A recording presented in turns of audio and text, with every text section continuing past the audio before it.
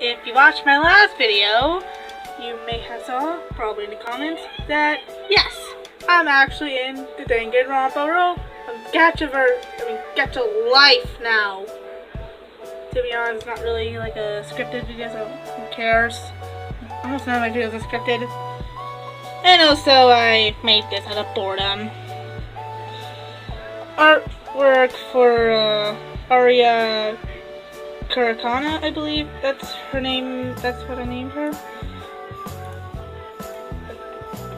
No, it's Kazukana.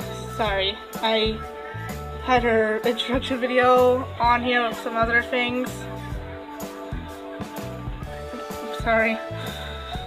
So, yeah.